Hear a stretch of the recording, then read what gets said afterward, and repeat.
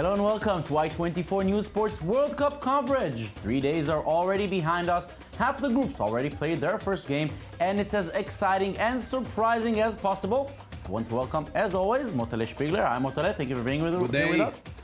And Merav Savir will join us later. Now, let's get it started. Group C got into action last night.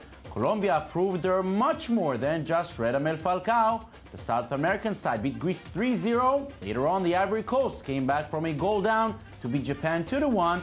Two quick second half goals, Colombia and the Ivory Coast, as expected, looking good on the way to the second round. On to Group D, and if we could expect what happened in Group C, the first game here was anything but expected. Costa Rica proved to be a force to be reckoned with as they were very impressive in their 3-1 win over South American champions Uruguay and in a clash between two former world champions, Italy beat England 2-1, Mario Balotelli scoring the winner for the Azzurri.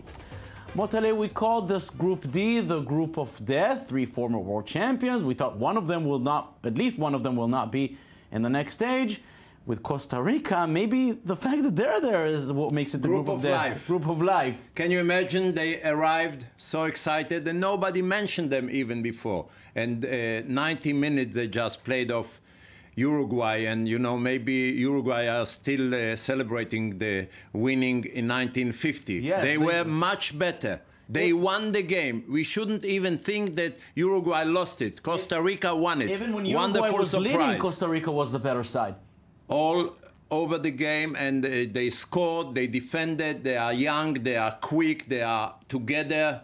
Wonderful performance. And now everybody in Uruguay is expecting Luis Suarez to be their, their savior. He will probably, probably be fit for their second match against uh, England. Is he going to be the one to save the day? Because they have defensive problems. He will not help I, there. I doubt. I saw him yesterday on the bench, like uh, sitting like this and thinking, can I help them? I'm not sure. One man show, it's behind us long time ago. Nobody can win a game alone. You can see from the beginning of the uh, World Cup, Neymar can score when the others are playing well. Robben and Van Persie are scoring when the team is well balanced. Suarez will not be enough because Uruguay is not good at this stage. And now Uruguay will face England in their next match. And England, we saw, very impressive on offense, very naive on defense. Again, Listen, it was like uh, uh, everything could happen in this game. Uh, Pirlo made uh, Italy better. Sterling show us that England has a future. and but they- for that good, game, good attacking uh, force, but for, only there. For that game, they were second best. It was a quiet, good game, open game. Everyone could win, but as I said, Pirlo as a pivot, everybody around him well balanced. England, as you said, not so good in defense, but they are okay, and I think that they are still in the picture of qualifying for the next Well, stage. right now, England is disappointed, and they were also disappointing in the previous World Cup where they lost in the second round to Germany. But it could have been different if goal line technology was implemented back then in South Africa. Before losing 4 1, England scored a legitimate goal that should have tied the game at 2 all, but the referee decided the ball did not cross the line. Had it been awarded, who knows where that game could have gone. After that incident, even the old fashioned FIFA understood it's impossible to stand by technology, and now, for the first time in World Cup, goal line technology is finally implemented. Merav Savir with the story. It seems inevitable, sports and technology. For years, different sports around the world have been adopting various methods of technological assistance, whether it's on the court or on the pitch, in the form of a replay or goal line sensors. Sports technology is here to stay. And for the first time ever in World Cup history, FIFA are using goal line technology. The adaptation is the result of ongoing demands from fans and an obvious mistake in South Africa in 2010. England was denied a clear goal versus Germany. German based goal control was chosen to develop the technology for Brazil, which consists of a set of cameras that will know exactly where the ball is. It's a digital system. It uses uh, seven cameras per goal, and the cameras are mounted on the catwalk. And the cameras are taking 500 pictures per second each. And these pictures are transmitted by fiber optics to a computer system. And when the ball crosses the goal line, the referees receive a message on their special watches within a matter of seconds. Goal Control tested its technology thousands of times before the games began, and its CEO is extremely confident in his product. I don't know what exact number of shots, uh, but I think it is more than 10,000 shots which were indicated perfectly. So uh, why shouldn't it work now uh, during the uh, biggest uh, competition in the world? It will work. I promise. One of the benefits of this system is its ability to help curb another huge problem FIFA faces match fixing. We can say this system is not able to manipulate because the system is offline working. Offline means no internet connection, only uh, officials, match officials are able to, to uh, have uh, the, the result on their watches. But even with the guarantees and the tests, football is a game played and refereed by humans, and the referees overseeing the matches still have to be on top of their game. Prepare the game perfectly know exactly how every teams are going to play 4-4-2 4-3-1-1 uh, counter-attack pressing pressing in the middle pressing in defense referee have to understand that technology is only one help Tennis already uses the Hawkeye system. American sports give their refs the benefits of instant replay. And finally, those in charge of world football took a step in the right direction. And Merav, you're here with us. Uh, you follow American sports over there in the NBA, in the NFL, even in the NHL. They use instant replays all, all the time. All the time, and it's constantly growing. the benefits growing. are huge there are a lot of benefits, and especially now you see being implemented not only in those big three, but in, baseball as well. And that's one of the bigger things that it's really we've seen a couple heartbreaking things in baseball where they've lost perfect games, pitchers have lost no hitters because the umpires made a mistake, and now they are using instant replay. So people used to you mentioned yourself, Germany, England, heartbreaking for England that that wasn't counted as a goal, and now they're using this benefit of technology to make sure that this doesn't happen to teams. It doesn't happen to individual players in baseball where they do have perfect games taken away from them. And probably the sport that this is most similar to, this goal line technology, is hockey. Everything's happening so quickly. You can see the puck go in and out of the net like that and miss it. And they do have that goal line technology where you hear the sirens, the lights go off. Everybody in the arena you knows have, there you, was a goal. You have to use it. And Motele, Merav spoke about the heartbroken English in the, in the 2010 World Cup. Had this technology existed in 1966, maybe England wouldn't even have had that one World Cup they do have because that's your first I goal. You. I think it's probably it, it, was probably not I in. I told you I was there in Wembley and I shouted it's not a goal. I even didn't need the camera. But I, as Merav said, this will change for the good.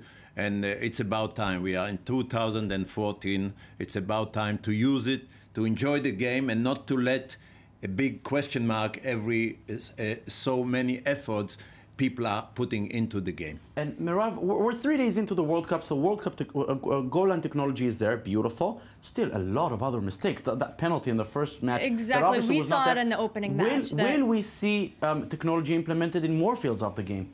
You definitely you are already seeing it. They already have now even the smaller things. It may not be cameras watching the goal, but they have the foam lines that now they're using. The next thing that you may see them try and implement is instant replay that we've seen in the NBA for buzzer beaters. We see in the NFL whether they set that a lines.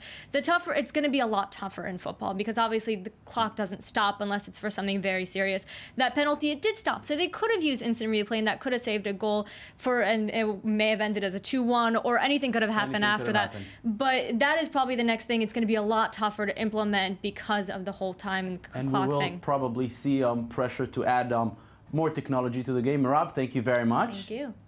And now let's turn our attention to the action coming up tonight. Group F will get underway with a match in the Maracana between Argentina and Bosnia. The other game between Iran and Nigeria will be held tomorrow. Argentina are, of course, one of the big favorites, having participated in all but four World Cups, winning the coveted trophy twice. For young Bosnia, this is the first World Cup experience. Merav Savir takes a look at this David Goliath duel. A true story of David and Goliath. Argentina has appeared on football's greatest stage 15 times, won the most coveted trophy twice, and this time around, FIFA ranked the squad fifth. On the other side of the field is Bosnia, first time appearing in the World Cup, no titles, ranked 21st. The group stage seems like a fairly easy one for the Argentinians. Bosnia, Iran, and Nigeria are minor bumps in the road for Leo Messi and his team, who haven't brought home the title since 1986. It's been a long time since Argentina was among the four finalists of the World Cup. And for a country as football crazy as ours, it's too long. But as good as Messi is, the squad knows winning a third title is a group effort. Not all the responsibility has to fall on Leo. We all have to contribute with what we know to try to reach our objective. We must remain calm, we must work hard this week, so when the ball touches the ground and we play our first game, we don't make mistakes.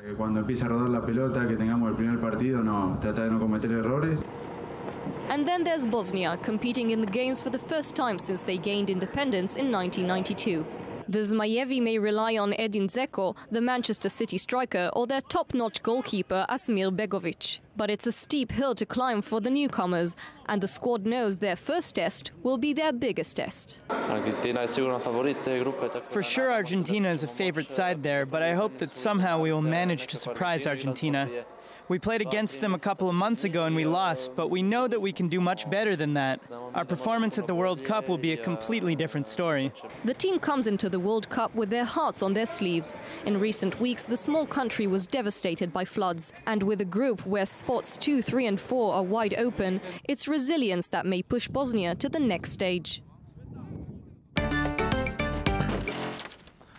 Motele, Argentina, always a very, very talented uh, team. Big names, Leo Messi, of course. The question is, is it going to be Argentina against Bosnia or Messi against Bosnia? Great question. You saw the two Argentinian players at the press conference. It was not Messi. It was not the coach. Two players speaking about Messi cannot do it alone, to take off the pressure from his shoulders. He's so great. He had a quiet season. He is ready for what everyone is expecting him to do to bring the World Cup. You have to Cup. remember in Barcelona when he does that, he doesn't do it all by himself. He has he, great, he, those great uh, players he, behind him. He is always surrounded by great players, the same like Pelé was, Maradona. Great players need support. Nobody can do it alone. It's not one man show. And if he has Di Maria and Aguero and the others in good form, it will be a kind of a, a big favorite to win it. But Bosnia, they are hard workers. Suffering let's, people will always bring a and, big heart like Croatia. Let's remember about Bosnia. They made it to the European playoffs in 2010, in 2012. This is not a one-time success. The character of the coach, manager, tells a lot about the team. And I know him. He was a player in Paris Saint-Germain. Safet Susic very discreet, very serious, very professional, great player, and he knows how to make this modest team to a good opponent to everybody. Argentina should be very careful if they want to go on with the victory after this game. And let's remember one thing: they may maybe Bosnia will lose tonight to Argentina. I'll say even probably, but the, they seem they, they can edge Iran. They can edge Nigeria in this group on the way to the uh, second round. Another group to get into action tonight is Group E. The first match in the eco-friendly stadium of the capital, Brasilia, Switzerland will face Ecuador, and a bit later in Porto Alegre, France will take on Honduras. And Motele, I think the big question about this French team is can they deal with each other socially? Because we saw in 2002 and in 2010 two very good French teams go out in the first round only because of social problems, not because of football. It will not happen this time because, look, before they left to Brazil, Nasri out. Everyone knows because the, the coach was not happy with the way he is with his teammates. That is a clear message. Samir Nasri, a very good player from Manchester I'm City, is out. Sure, that is a message. I'm not sure what is the real reason why Ribéry is out. So two big stars. The team is balanced, and don't forget Didier Deschamps. He was the French he captain. Li he lifted the World he Cup. He lifted the World Cup, and he knows how to deal with these young players. You don't have a Zidane, but you have many good, balanced players who are playing all over Europe in great teams, and I think that France will make even better than they think they can do. Now, Switzerland, Ecuador, and Honduras. Who seems, if France really goes first, who seems to be for the best me, for second? For me, it will be Switzerland and uh, although I don't know uh, much about Honduras, we saw them in a friendly against Israel, not something to write home about. And they lost. And the other team is, you know, uh, they can do, but for me, France and Switzerland are the favorites from this group. Yes, obviously France is very good. Switzerland, let's we, we should say they made it to their third straight um, World Cup. We've seen them a couple of times play against Israel. They're a solid team. Simple football, good manager. They play the game and, and, and they know how to deal. They won against Spain in the opening in, in 2010. Uh, uh, 2010 in South Africa. I think they can always bring good results, like Belgium, like the other teams, which Very, are very not interesting at the watch. first best, but, But they they're always always good. enough to, to do something. We'll watch that tonight. Motele Spiegler, thank you very much for being with us, as always. you. And that's it for us today. Thank you for watching. We will be here again tomorrow to summarize another exciting night of World Cup action. Have a great day.